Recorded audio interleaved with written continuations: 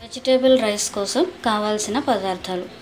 Carrot capsicum ఆలు onion అలానే పచ్చిమిర్చి కరివేపాకు కొంచెం పుదీనా. ఇక్కడ నేను వన్ కప్ ఆఫ్ రైస్ కోసం చేస్తున్నానండి వెజిటేబుల్ రైస్.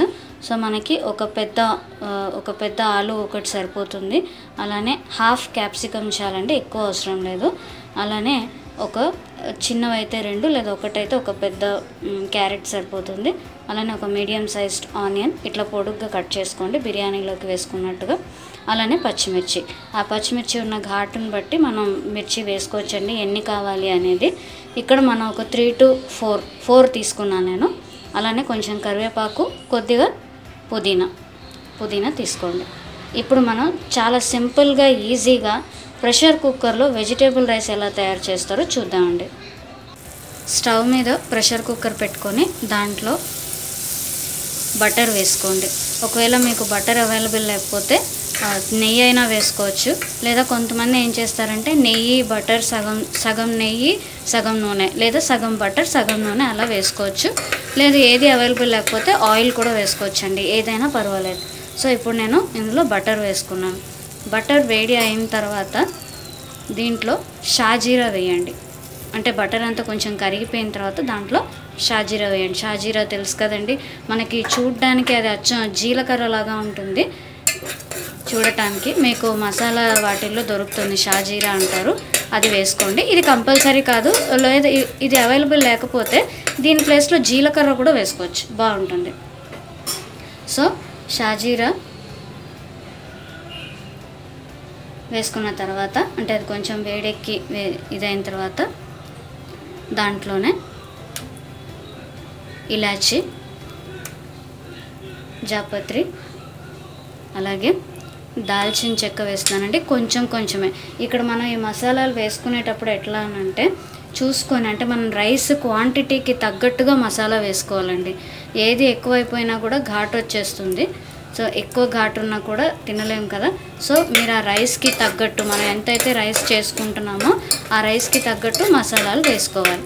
సో ఇప్పుడు మనం ఇందులో బటర్ వేడెక్కిన దాంట్లో లవంగాలు ఇలాచి దాల్చిన చెక్క జాపత్రి అలాగే షాజీరా వేసుకున్నాం.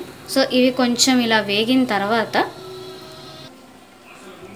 ఇవన్నీ వేగిపోయిన తర్వాత బిర్యానీ ఆకు అలానే మనం కట్ చేసి పెట్టుకున్న మిర్చి వేయండి మిర్చి బాగా వేగిపోక్కర్లేదండి. ఊరికే కొంచెం ఆ నూనెలో ఇదైన తర్వాత లేదా అంటే మనం వేసుకున్న బటర్లో కొంచెం జస్ట్ అట్లా వేగిన తర్వాత వెంటనే దీంట్లో ఉల్లిపాయలు వేయండి.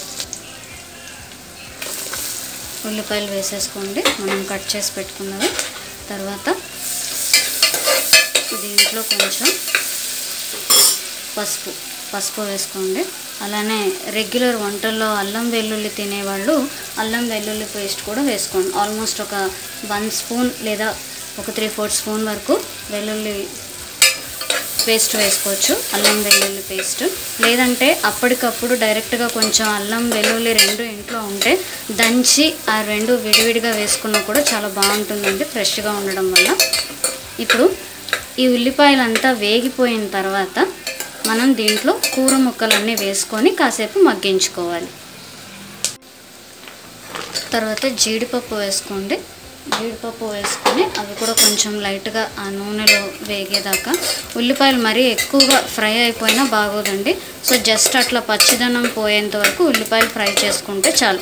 ఉల్లిపాయలు వేసినప్పుడే లేదా ఉల్లిపాయలు వేయకముందే కూడా మనం జీడిపప్పుని వేయించేసుకోవచ్చు. ఇట్లా ఉన్నా కూడా బాగానే ఉంటుంది. సో ఉల్లిపాయ జీడిపప్పు రెండు లైట్గా వేగిపోయిన తర్వాత కూర ముక్కలు వేసుకోవాలి. మనం కట్ చేసి పెట్టుకున్న ఈ క్యారెట్ ఆలు అలానే క్యాప్సికం ఉన్నాయి కదండి ఇవన్నీ వేసేసుకోండి. వేసుకొని ఒక్కసారి కొంచెం అంత కింద నుంచి కలిపేయండి.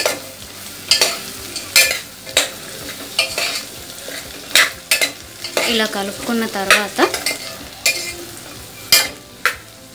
సో కూర ముక్కల్ని కొంచెం సేపు మనం మగ్గించుకోవాలి. అందుకని దాంట్లో లైట్గా ఉప్పు వేయండి మొత్తానికి మొత్తం రైస్కి కాదు ఇప్పుడు ఊరికే కొంచెం ఒక హాఫ్ స్పూన్ ఉప్పు అలా వే వేయండి. తర్వాత దాంతోపాటు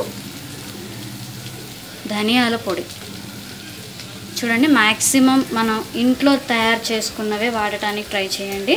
ధనియాల పొడి ఇంట్లో చేసుకున్నది వన్ స్పూన్ ధనియాల పొడి వేసుకొని ఇట్లా జస్ట్ ఊరికే లైట్గా అలా కలిపేసి కాసేపు దీని మీద మూత పెట్టి ఉడికించుకోవాలి. మగ్గ పెట్టండి ముక్కలు. సిమ్లో పెట్టేసి కొంచెం సేపు మూత పెట్టండి. కాసేపు ముగ్గలు ముక్కలన్నీ కొంచెం లైట్గా మగ్గే వరకు. ముక్కలన్నీ కొంచెం మగ్గే లోపల మీరు వన్ కప్ రైస్ తీసుకొని దాన్ని వాటర్తో నీట్గా క్లీన్ చేసుకోండి. సో ముక్కలేమి ఎక్కువగా అంటే కొంచెం మెత్తగా ఏం మగ్గక్కర్లేదండి. ఎందుకంటే మనం ఎలాగో ప్రెషర్ కుక్కర్లో కుక్ చేసుకుంటాం కాబట్టి అవి ఆటోమేటిక్గా ఉడికిపోతాయి. జస్ట్ ఊరికే మనం వేసిన ఆ ధనియాల పొడి అవంతా కూడా కొంచెం ముక్కలకి పట్టాలి అని చెప్పి కాసేపు మనం మూత పెట్టుకున్నాం. ఇప్పుడు మనం ఆల్రెడీ కడిగి పెట్టుకున్న రైస్ ఉంటుంది కదండి ఆ రైస్ వేసుకోవాలి. అయితే కొంచెం ఆ రైస్ వేసుకునే ముందు కరివేపాకు అలానే పుదీనా మనం ముందే పెట్టుకున్న కరివేపాకు పుదీనా కూడా అందులో వేసేసుకోండి. ఇప్పుడు ముందే కడిగి పెట్టుకున్న రైస్ అలానే దాంతోపాటు ఉన్న ఈ ఎసరు కూడా మొత్తం ఒకేసారి వేసేసేయండి. ఇప్పుడు ఇందులో రైస్ కూడా వేసేసుకున్న తర్వాత మనం ఇందాక ముక్కల్ని ఊరికే కాసేపు మగ్గించినప్పుడు కొంచెం సాల్ట్ వేసుకున్నాం కదండి తర్వాత ఇప్పుడు అన్నంలో కూడా కొంచెం సాల్ట్ వేయండి. అంటే రైస్ వేసాక సాల్ట్ వేసుకోండి. సో అప్పుడు ముక్కల కోసం వేసినది ఇప్పుడు సరిపోయేటట్టు మొత్తం రైస్కి సరిపోయేటట్టు తగినంత ఉప్పు చూసి వేసుకోండి. తర్వాత జస్ట్ ఇట్లా ఊరికే ఒకసారి అంతా కలయ పెట్టేసుకొని కలయ పెట్టేసుకొని మూత పెట్టేసి ఉడికించేసుకోండి. ఆల్మోస్ట్ ఒక త్రీ విజిల్స్ రాగానే కుక్కర్ ఆపేసేయండి. కుక్కర్ చల్లారిందండి చూద్దాం. సో సింపుల్గా చాలా ఈజీగా ప్రెషర్ కుక్కర్లో వెజిటేబుల్ బిర్యానీ